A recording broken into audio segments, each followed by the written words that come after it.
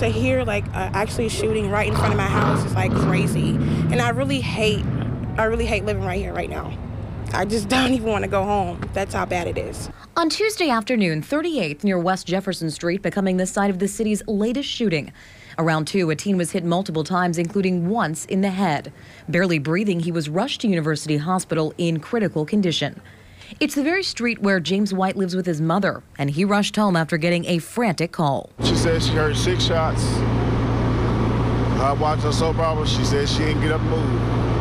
And like I say, it's scary because it's in front of, across from your house, right in front of it. The victim in this case, just 17 years old. It's why Norm Martin and Dr. Eddie Woods from the anti-violence group No More Red Dots went to the scene, unsure if the teen was one of the hundreds they had mentored over the years. It's a real good chance that we know who it is or, or have had some some association with his family, you know.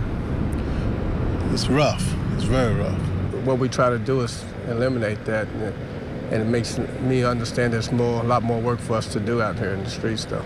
In a year that has seen nearly 400 shootings and 100 homicides with younger and younger victims, neighbors were left wondering not only who, but why. To hear they're young, and it's like, wow, like what can they have done? They were walking down the street, you know? It's crazy to me. It's senseless.